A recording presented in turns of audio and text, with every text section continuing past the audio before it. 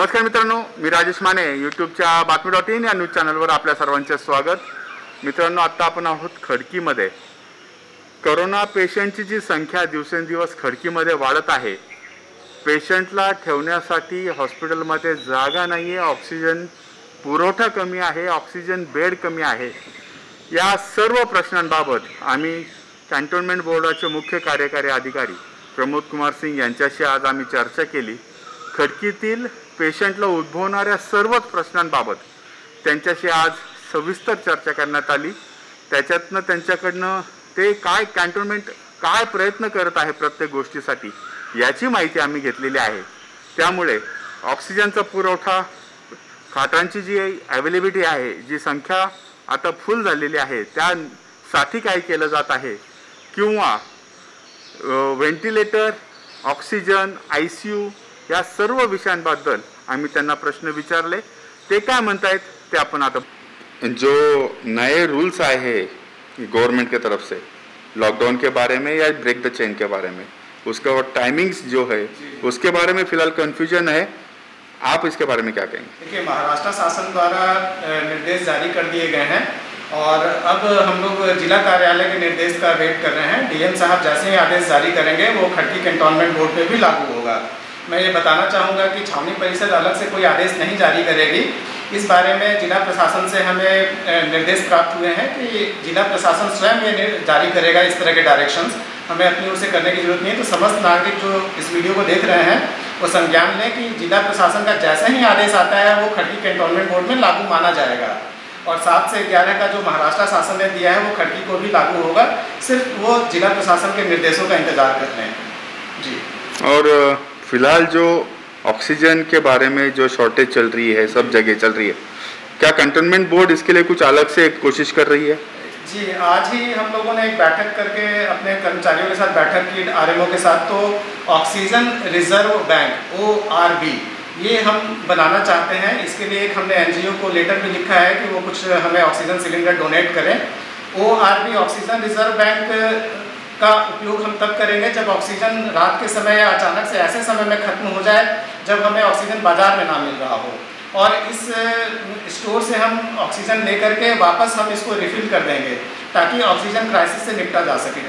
दूसरा, हम लोगों ने ये प्लान भी किया है कि ऑक्सीजन के बहुत बड़े सिलेंडर जंबो से भी बड़े सिलेंडर जो हैं, वो इंस्टॉल किए जाएँ। एक सिलेंडर में 10 जंबो सिलेंडर के बराबर की कैपेसिटी के क्षमता होती है तो वो हम शुरुआती तौर पे दो इंस्टॉल कर रहे हैं, जिससे कि 20 जंबो का इक्विवेलेंट व्यवस्था हो जाएगी। आरएमओ से इस बारे में बात हुई है।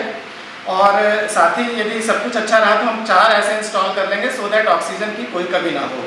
तीसरी चीज़ हम लोग ये भी विचार कर रहे हैं कि क्यों ना एक ऑक्सीजन प्लांट के बारे में निवेदन किया जाए राज्य सरकार को। यदि ऑक्सीजन प्लांट छावनी क्षेत्र में लग जाता है खड़की में तो इससे बहुत बड़ी समस्या का समाधान हो जाएगा और ऑक्सीजन की प्रॉब्लम नहीं होगी। इसके अलावा हम लोग वैक्सीनेशन पे ज़्यादा फोकस कर रहे हैं और कोशिश कर रहे हैं कि जितनी ज़्यादा वैक्सीनेशन की जाएगी, उससे कोविड का असर जो है कम किया जा सकेगा सुरक्षा ही बचाव है मैं ऐसा मानता हूँ।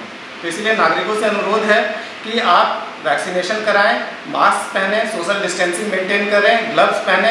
इस बार का जो कोविड का वायरस है, उसका वेरिएंट बहुत खतरनाक है। इसके, इसकी स्पीड बहुत ज़्यादा है, बहुत तेज़ी से अफेक्ट कर रहा है और लंग्स यानी फेफड़े को भी बहुत ज़्यादा अफेक्ट कर रहा है। तो मेरा अनुरोध है कि इसकी चपेट में ना आए ये ज़्यादा बेहतर है। फ़िलहाल खड़की में कोरोना के पेशेंट बढ़ रहे हैं हॉस्पिटल में जगह नहीं है। तो क्या पैरेलल कोई हम व्यवस्था कर रहे हैं इन पेशेंट के लिए? जी इसके लिए जीजा माता स्कूल में ऑलरेडी जैसा कि मैंने पहले भी बोला था कोविड केयर सेंटर शुरू किया जाना था। तो कल से वो शुरू कर दिया गया है जिसमें कि जिला प्रशासन की ओर से कुछ नर्सेज आई थी कुछ छावनी परिषद की ओर से डॉक्टर्स डिप्यूट किए गए। तो कल से सक्सेसफुली वो स्टार्ट कर दिया गया है। और साथ ही ऑक्सीजन की जो पाइपलाइंस हैं जो हॉस्पिटल में लगनी है वो भी काम शुरू कर दिया है रंजित डॉक्टर रंजित भोसले द्वारा। और आईसीयू का भी काम एक या दो दिन में शुरू होने वाला है। कॉन्ट्रैक्टर को इसके बारे में निर्देश दे दिए गए हैं। मैट्रेस मत दीजिएगा फोम फोम फोम शीट पे वैक्सीन को होने का क्या है हाँ वो इजी होगा। बहुत अच्छा है।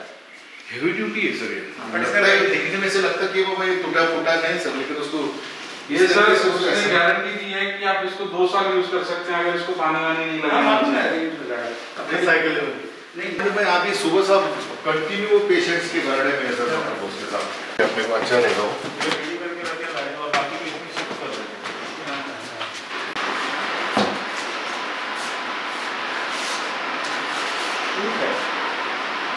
ये रूम्स के लिए हेल्थ केयर स्टाफ की ही आप ज़रूरत पड़ेगी किसी को रिक्वेस्ट करना पड़ेगा। चालू तो आज भी कर सके ना सर क्या है? गड्डी इसलिए लग गया सर और दो नर्स आ गए एक डॉक्टर आ गए खाली कबट पड़े लिए दवाई ला वैक्सीनेशन का कुछ ज़्यादा बड़ा काम नहीं है सर इधर का मेन काम है सर इधर अगर डॉक्टर बैठे बैठते हैं और वो सिर्फ़ फॉलो अप लेते हैं। बाबा नर्स पहुँच गए कि नहीं वो शिफ्ट के लिए या वार्ड बॉय वार्ड आया है कि नहीं और उधर वो सेंटर ठीक चल रहा है कि नहीं।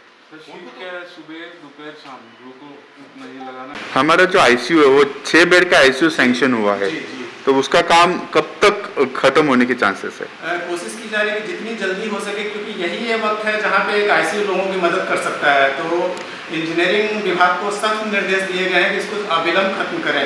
फिर भी मेरा अनुमान है कि 20 से 21 दिन या लगभग एक माह का समय लगने की संभावना है।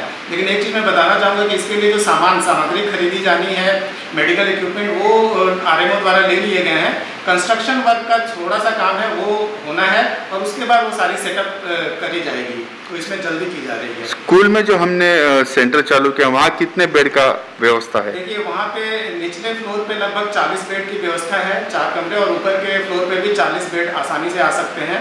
इसमें थोड़ा सा मैनेज किया जाए तो 80 बेड तो आसानी से वहाँ पे लोगों को एकोमोडेट किया जा सकता है। यानी जिनको हाई सिक्योर इसकी ज़रूरत नहीं है। ऐसे लोगों को वहाँ सी सी सी हम जिसे कहते हैं वो यूनिट चालू हो रहा है। बिल्कुल बिल्कुल। उसमें से जिस पेशेंट की स्थिति खराब होगी उसके लिए हम लोगों ने ऑक्सीजन कंसंट्रेटर मशीन भी ली है जो डोनेशन में मिली है।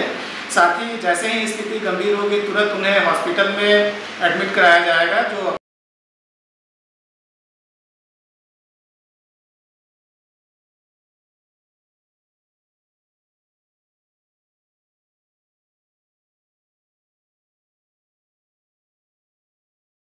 अपना डीसीएससी है, वहाँ पे ऑक्सीजन की व्यवस्था की जाएगी। लेकिन मैं ईश्वर से दुआ करता हूँ कि ऐसी नौबत ना आए और जो माइंड सिम्टोमेटिक है उनको रखा जाएगा।